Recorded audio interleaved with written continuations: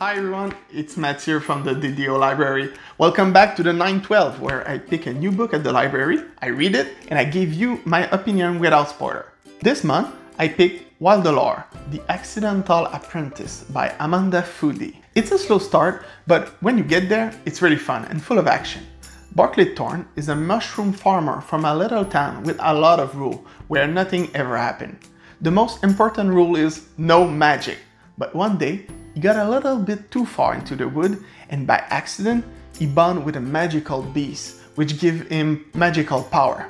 In one instant, his entire world changed and he's thrown into the world of Lore Keeper.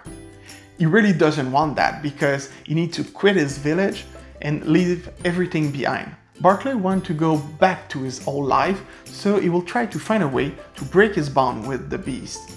It's a classical adventure journey with magic, action, and friendship. Where it's original is that it's kind of a mix between Pokemon and Harry Potter. Because the beast give powers to the lore keeper and he needs to train and study to master them.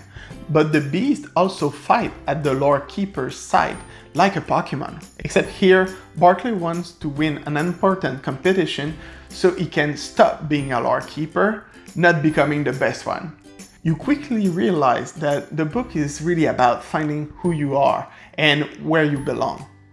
The book is very good, the magical system is interesting, the Lore Keeper developed different ability related to the beasts they bond with, and all the beasts are graded in a system from inoffensive to very powerful.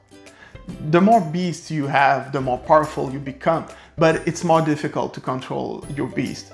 I'll definitively pick the volume 2 when it come out next year.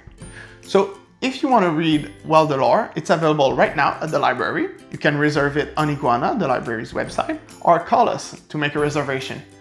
The audiobook and the ebooks are also available on Overdrive.